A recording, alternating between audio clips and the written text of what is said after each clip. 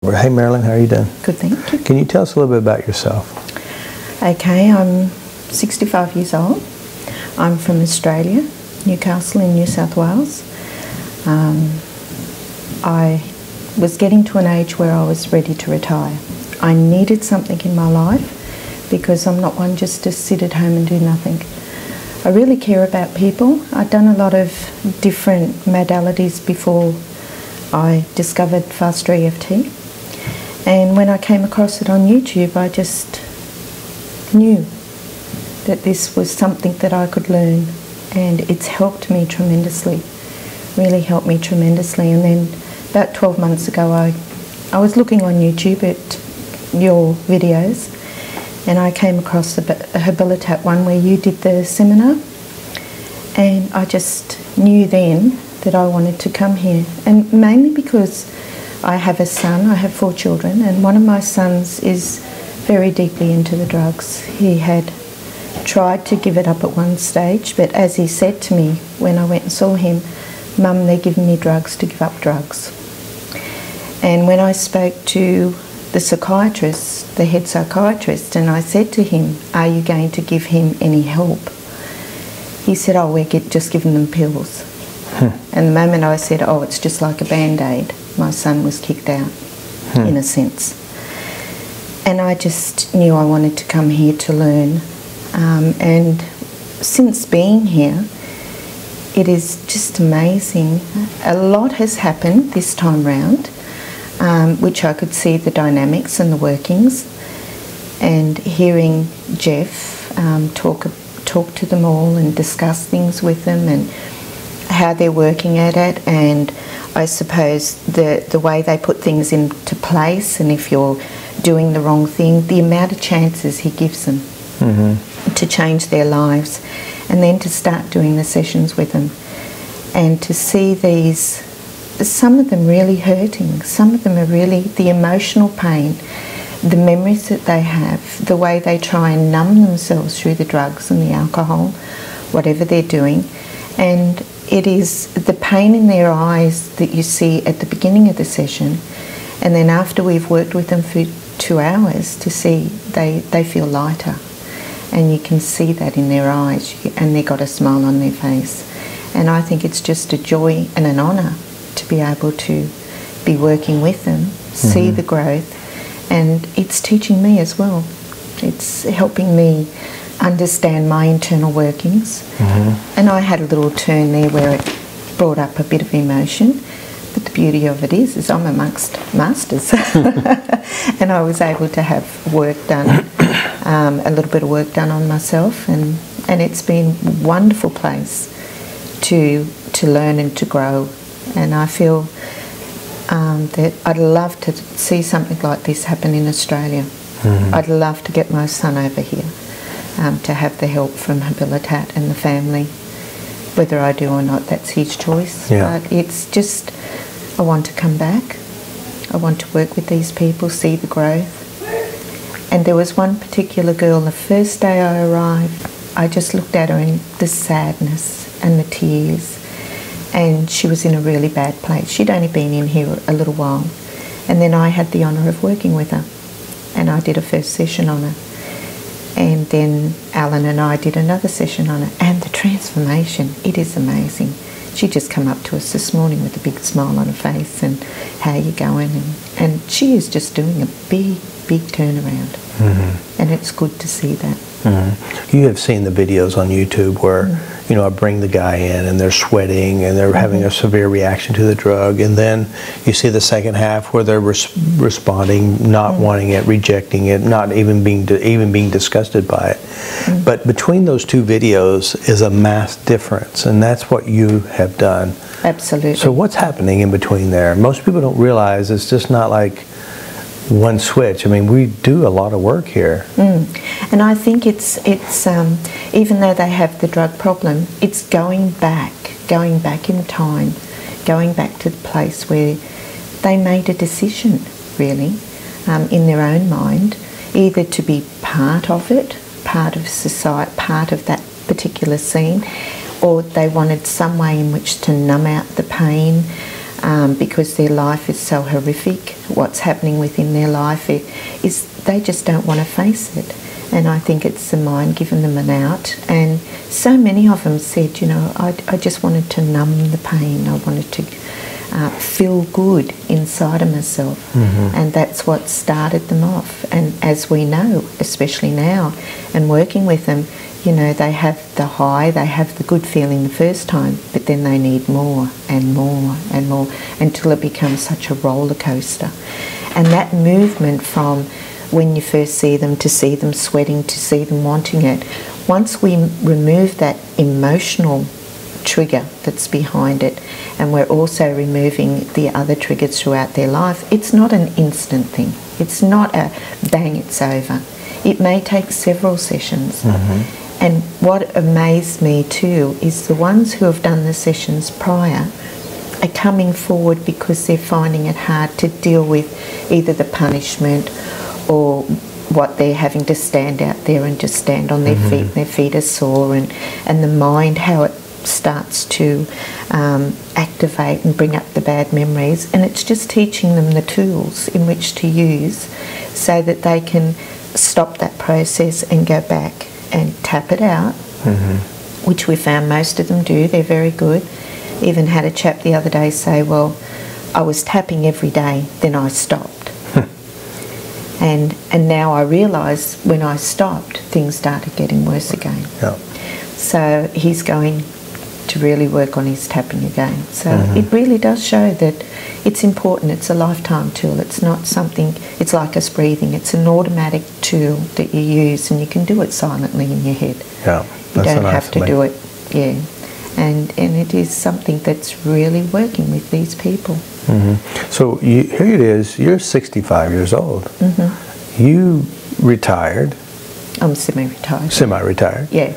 And you're taking on Faster EFT as another career. Yes, I am. I am. Well, I am living to 100, Robert, so I've still got 35 years to go.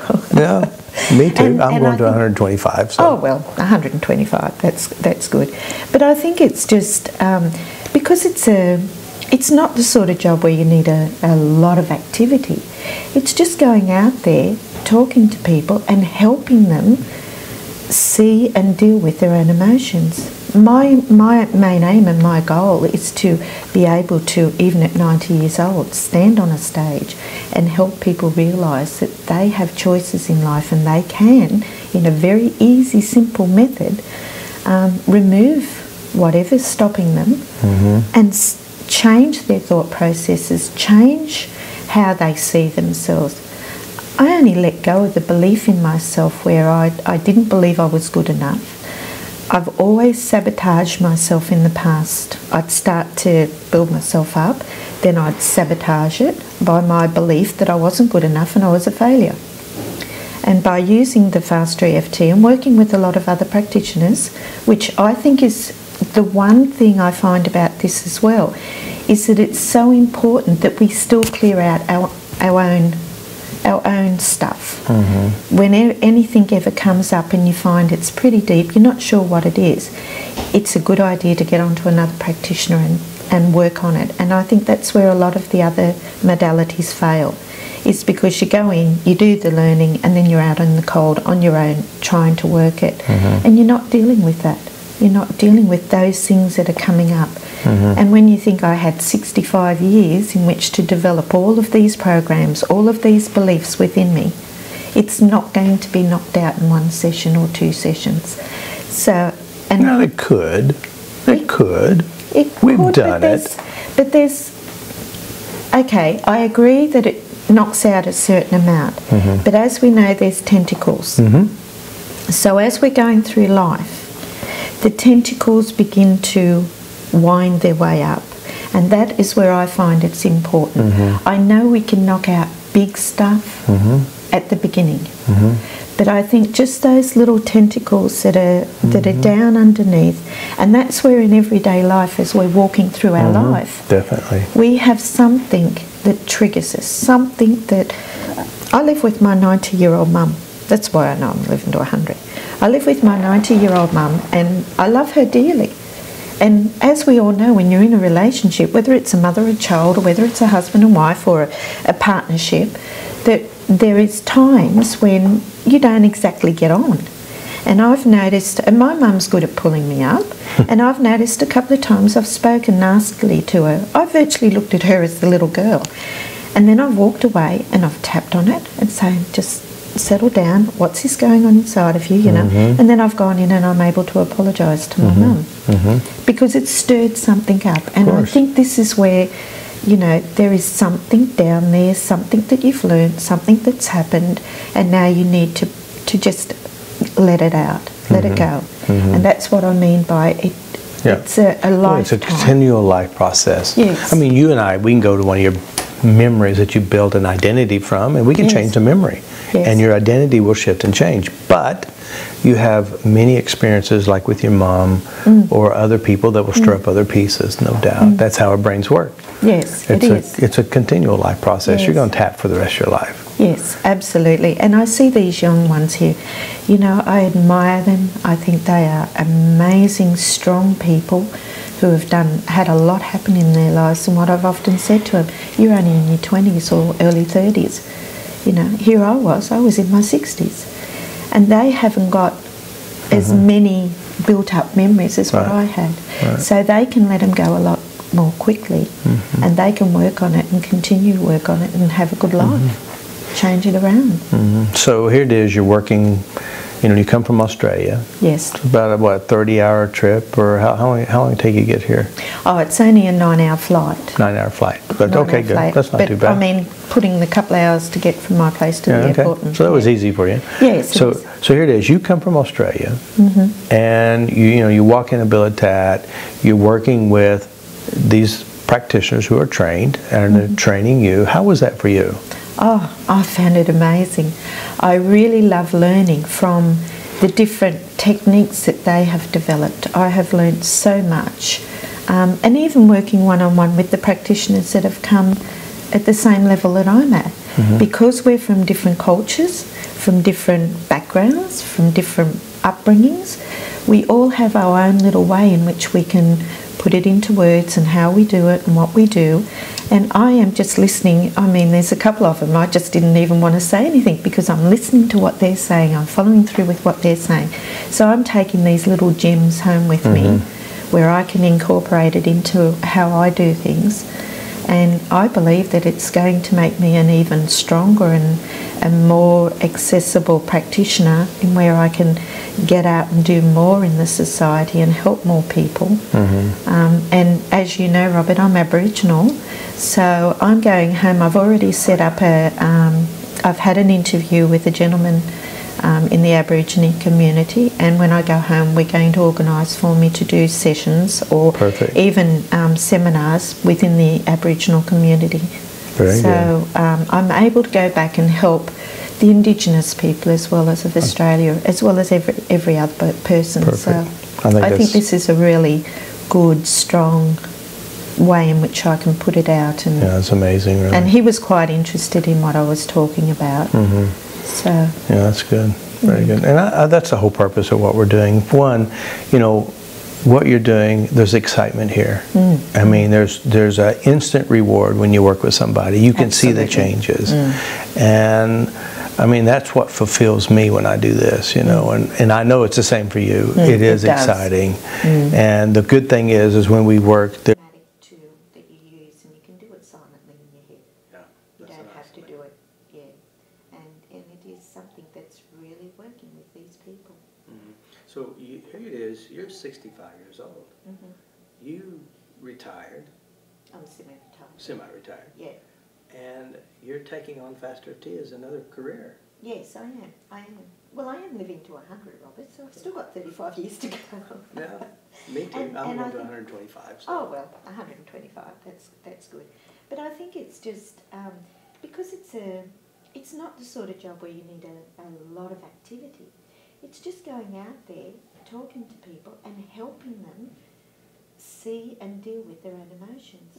My my main aim and my goal is to be able to, even at 90 years old, stand on a stage and help people realise that they have choices in life and they can in a very easy, simple method, um, remove whatever's stopping them Mhm. and s- change their thought processes, change how they see themselves. I only let go of the belief in myself where I, I didn't believe I was good enough. I've always sabotaged myself in the past. I'd start to build myself up, then I'd sabotage it by my belief that I wasn't good enough and I was a failure. And by using the fast EFT and working with a lot of other practitioners, which I think is the one thing I find about this as well, is that it's so important that we still clear out our, our own our own stuff. Mhm. When e- anything ever comes up and you find it's pretty deep, you're not sure what it is, it's a good idea to get onto another practitioner and, and work on it. And I think that's where a lot of the other modalities fail, is because you go in, you do the learning, and then you're out in the cold on your own trying to work it. Mhm. And you're not dealing with that. You're not dealing with those things that are coming up. Mhm. And when you think I had 65 years in which to develop all of these programs, all of these beliefs within me, it's not going to be knocked out in one session or two sessions. So, and No, it could. It could. it We've could, done but there's, it. but there's, okay, I agree that it knocks out a certain amount, Mhm. but as we know, there's tentacles. Mhm. So as we're going through life, the tentacles begin to wind their way up. And that is where I find it's important. Mhm. I know we can knock out big stuff Mhm. at the beginning, Mhm. but I think just those little tentacles that are that are down underneath, and that's where in everyday life, as we're walking through our Mhm. life, Definitely. we have something that triggers us, something that. I live with my 90 year old mum. That's why I know I'm living to 100. I live with my 90 year old mum and I love her dearly. And as we all know, when you're in a relationship, whether it's a mother and child, or whether it's a husband and wife or a, a partnership, that there is times when you don't exactly get on. And I've noticed, and my mum's good at pulling me up, and I've noticed a couple of times I've spoken nastily to her. I've virtually looked at her as the little girl. And then I've walked away and I've tapped on it and said, just settle down. What's this going on inside of you, you know? Mhm. And then I've gone in and I'm able to apologise to my Mhm. mum Mhm. because it stirred something up. And I think this is where, you know, there is something down there, something that you've learned, something that's happened, and now you need to, to just let it out, let it Mhm. go. Mhm. And that's what I mean by it. Yeah. It's a, a Well, it's a continual life process. Yes. I mean, you and I, we can go to one of your memories that you build an identity from, and we can Yes. change the memory. Yes. And your identity will shift and change. But you have many experiences, like with your mom Mm. or other people that will stir up other pieces, no doubt. Mm. That's how our brains work. Yes, it It's is. a, it's a continual life process. You're going to tap for the rest of your life. Yes, absolutely. And I see these young ones here. You know, I admire them. I think they are amazing, strong people who have done had a lot happen in their lives. And what I've often said to them, you're only in your twenties or early thirties. You know, here I was. I was in my sixties, and they haven't got as Mhm. many built-up memories as what I had. Right. So they can let them go a lot more quickly, Mhm. and they can work on it and continue to work on it and have a good life, change it around. Mhm. So here it is, you're working, you know, you come from Australia. Yes. About a, what, 30 hour trip, or how, how long, how long take you to get here? Oh, it's only a nine-hour flight. Nine hour flight. But Nine-hour okay, good. flight. That's not but too bad. I mean, putting the couple of hours to get from my place to Yeah, the okay. airport. and- So that was easy for you. Yes, it So, is. so here it is. You come from Australia, Mhm. and you, you know, you walk in Habilitat. You're working with these practitioners who are trained, and they're training you. How was that for you? Oh, I found it amazing. I really love learning from the different techniques that they have developed. I have learned so much. Um, and even working one-on-one with the practitioners that have come at the same level that I'm at. Mhm. Because we're from different cultures, from different backgrounds, from different upbringings, we all have our own little way in which we can put it into words and how we do it and what we do. And I am just listening. I mean, there's a couple of them. I just didn't even want to say anything because I'm listening to what they're saying. I'm following through with what they're saying. So I'm taking these little gems home with me Mhm. Where I can incorporate it into how I do things.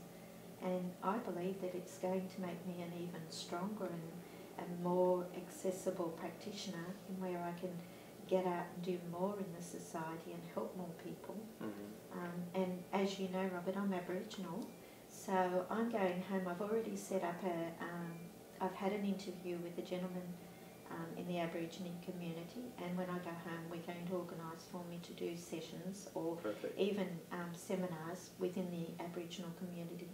Very so um, I'm able to go back and help the Indigenous people as well as of Australia, as well as every, every other person. So I think I think this is a really good, strong way in which I can put it out. And, Yeah, it's amazing. and he was quite interested in what I was talking about. Mhm. So Yeah, that's good, very good. And I, I, that's the whole purpose of what we're doing. One, you know, what you're doing, there's excitement here. mm, I mean, there's, there's an instant reward when you work with somebody. You can see the changes. mm, And, I mean, that's what fulfills me when I do this, you know, Mm. and, and I know it's the same for you. Mm, It it is does. exciting. mm. And the good thing is, is when we work, there's a test and retest.